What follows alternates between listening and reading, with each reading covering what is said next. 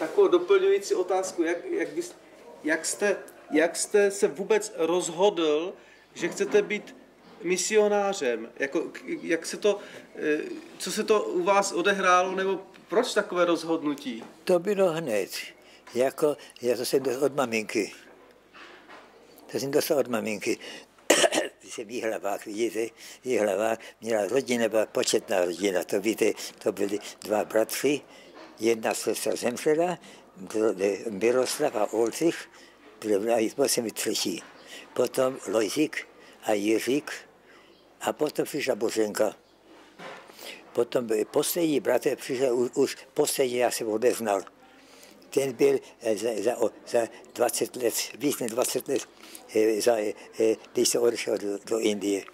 Když jsem byl malý chlapec, já jsem byl rošťák, rošťák, to, chlapec není rošťák, to, je, to není chlapec, no taky jsem někdy, někdy kou, kouřil a někdy taky jsem, jsem, jsem se uli, ve škole nestudoval jsem moc, ale byl jsem, byl jsem, byl jsem, eh, byl jsem, eh, byl jsem četl jsem moc knížek. To mi líbilo.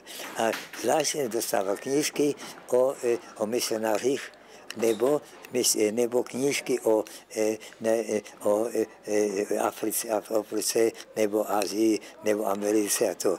A jednou maminka, kdyby byl 12 let, se mě, mě se optala, co, co, budeš být, co budeš být, co budeš být. Já jsem ne, se bál odpovědět, nevěděl jsem, co říct. To je chlapec.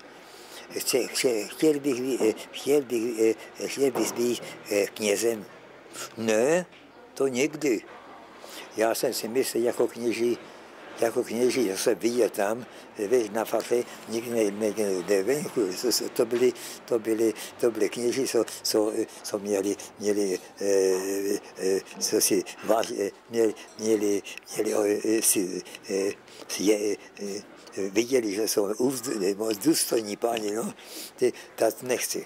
Ale co chceš dělat? Já jsem misionář.